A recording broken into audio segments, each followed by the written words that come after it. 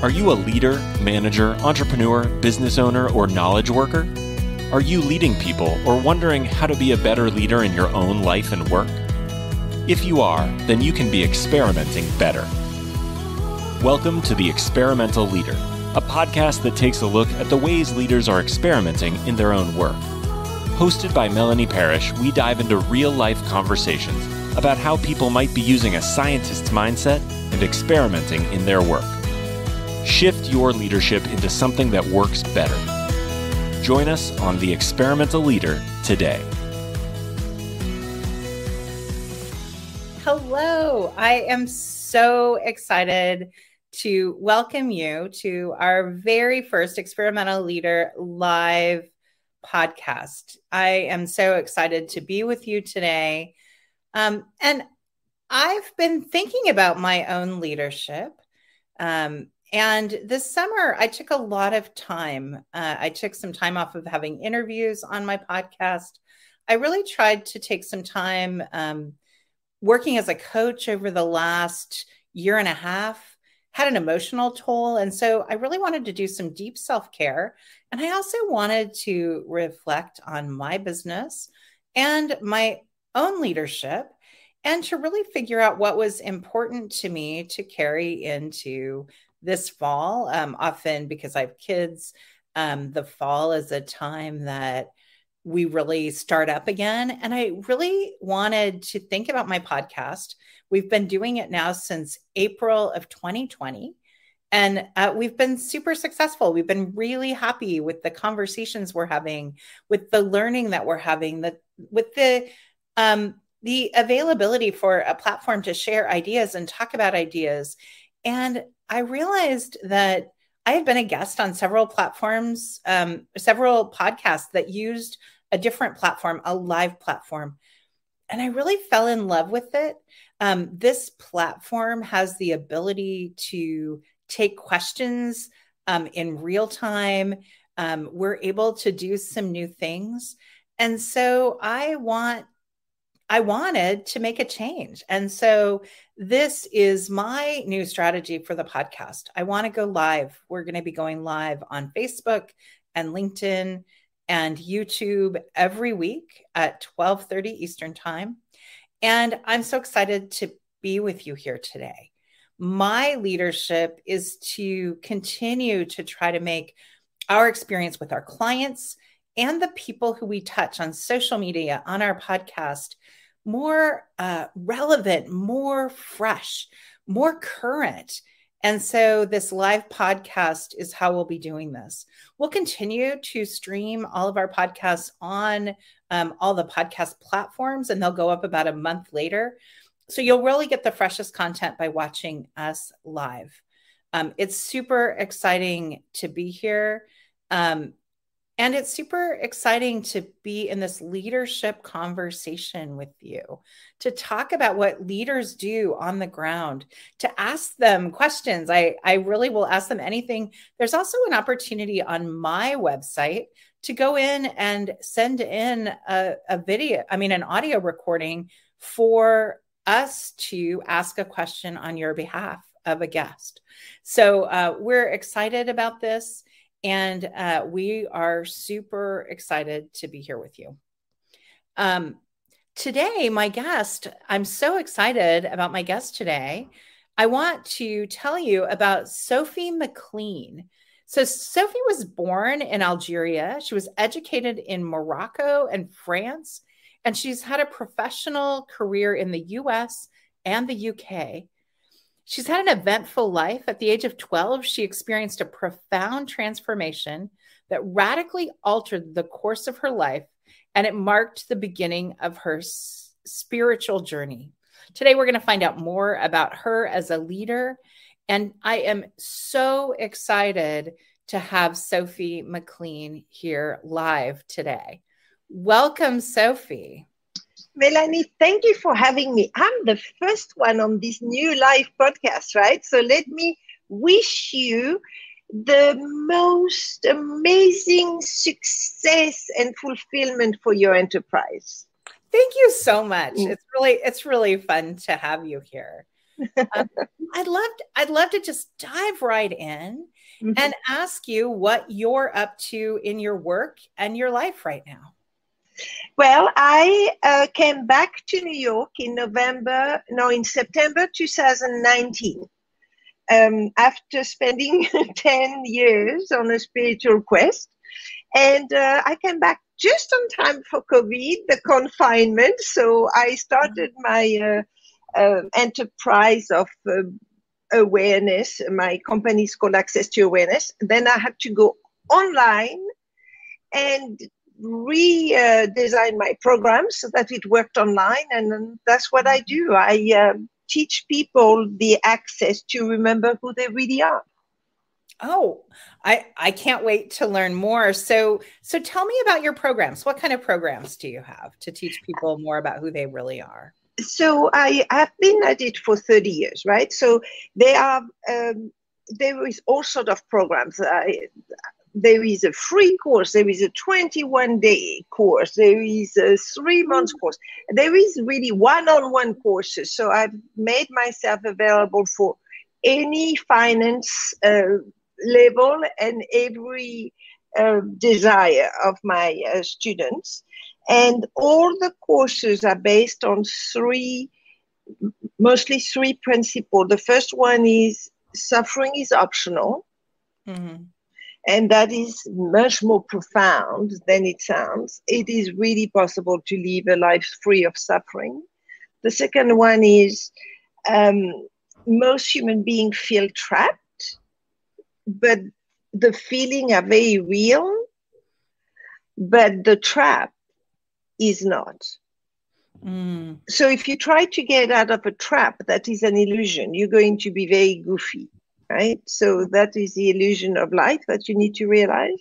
And the third principle is that anything you identify with is not who you are. So you to be able to access authentic power, intuition, guidance, you need to remember who you really are. Mm. So my programs are all designed around those. And um, I imagine there's people listening who think, well, I know who I am. Mm. How would someone know that they could use your program, that it would be right for them?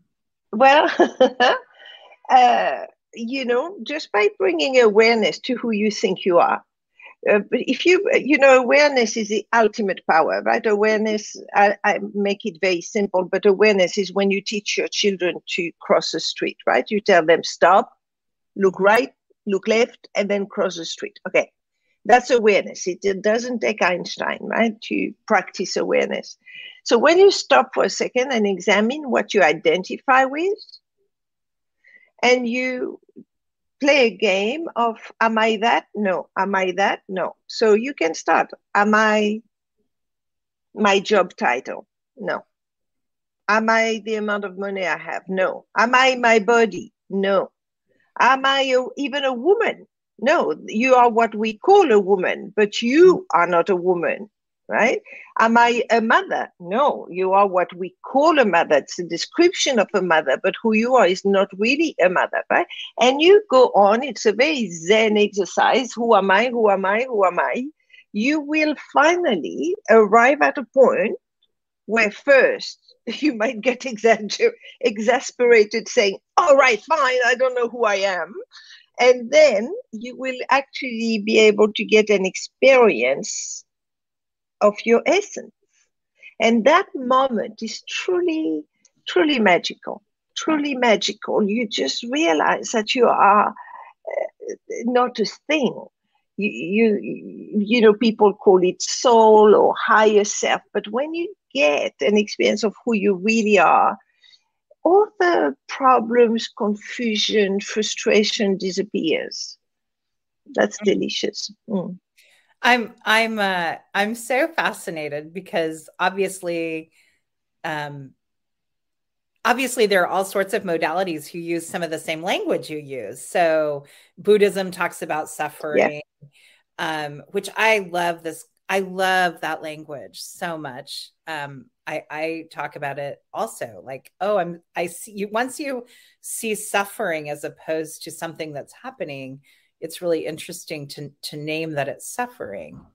Um, and I also uh, there's a guy named Eliyahu Goldratt who was an Israeli physicist who worked in manufacturing, and he always talked about management attention being the biggest bottleneck. And so when you talk about the attention to yourself, I'm sort of fascinated by that concept. And so these two sort of places that are really different than what you're talking about around self transformation are popping into my mind. You know, sort of religion and um, manufacturing consulting. Um, it, it's it's quite fascinating to me. What what brought you as a leader uh, into this space? What made you want to do this work in the world? I had a gift, a gift when I was 12 years old. Um, I uh, was brought up in Casablanca, Morocco. I'm French, you can hear by my accent, but I was brought up in Casablanca and I was in the garden watching my family getting ready to sit down for dinner. And uh, I think I must have been in a moment of stillness, you know, just watching them. And suddenly I had a download. It was an epiphany. And there was, uh, and I just got a message. The first message was that I was being brought up in a cocoon that had absolutely nothing to do with what was happening in the world. And that I needed to go and find out because there was a range from joy to despair and everything, every single experience was available in the world. And I was having just a tiny little one.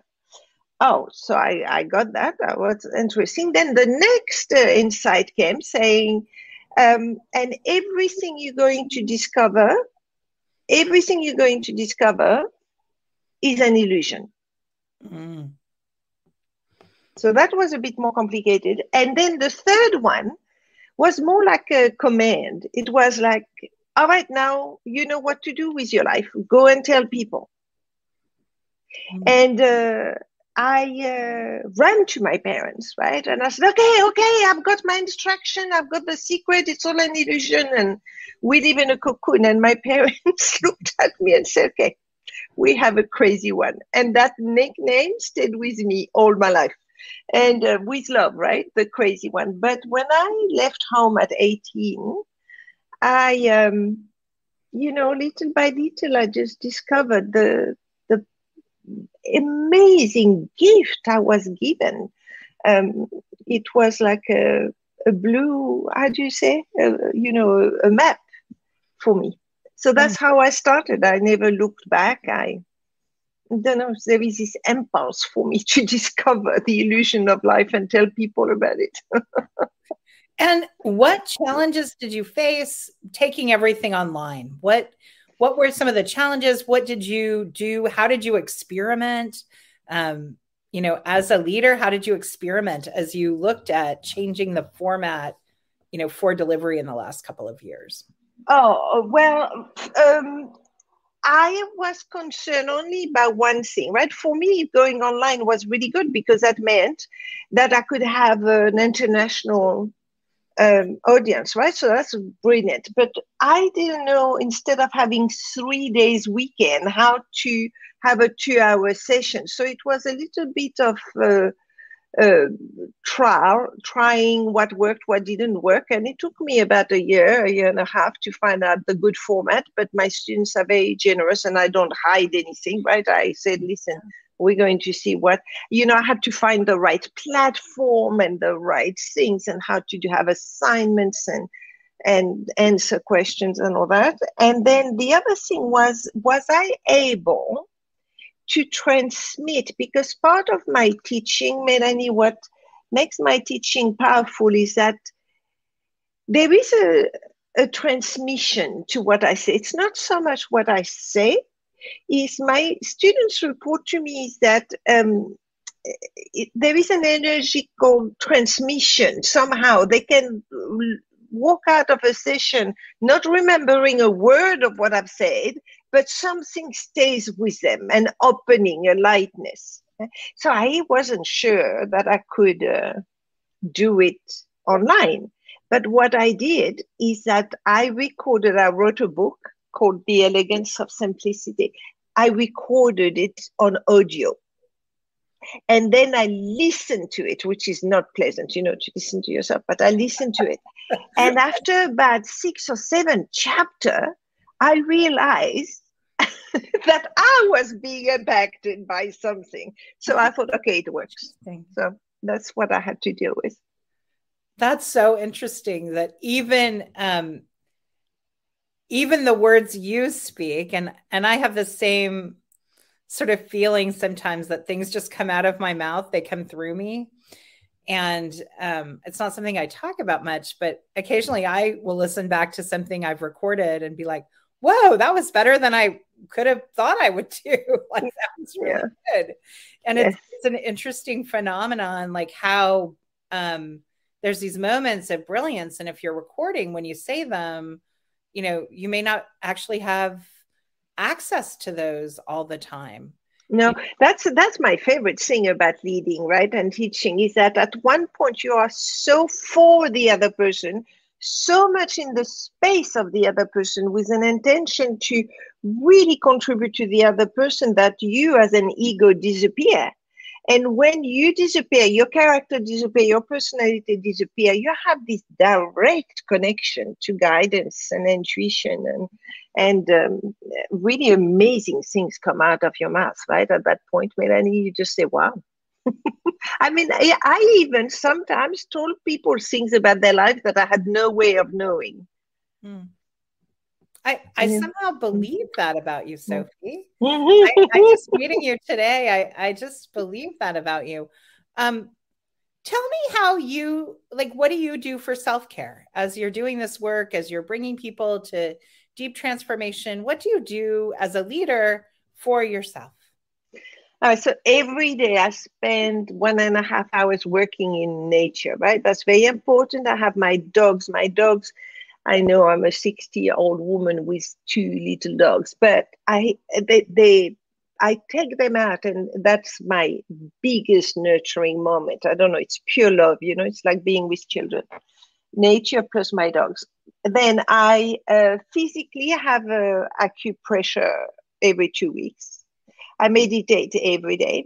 And what I do, I am constantly, like about two or three hours a day, constantly seeking other teachers, masters, mystic, philosophers. I constantly look to expand my experience.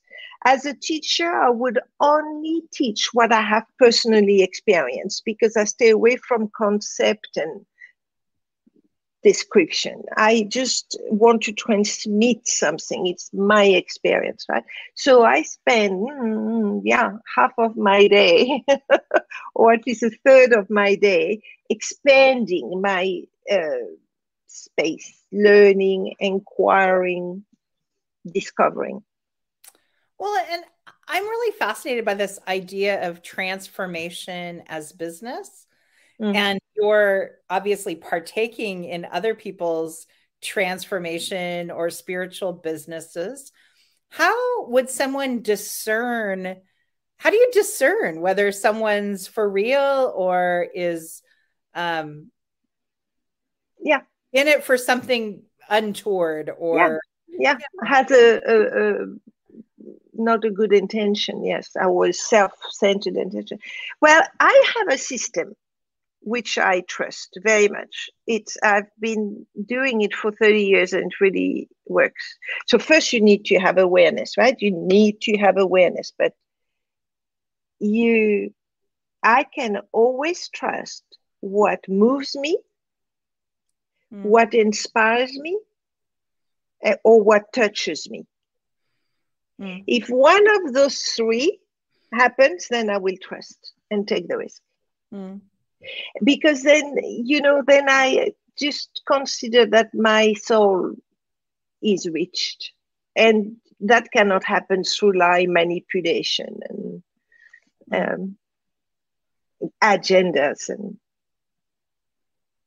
so that's how i proceed and what are you excited about for the next year in your in your world, in your leadership, in your business?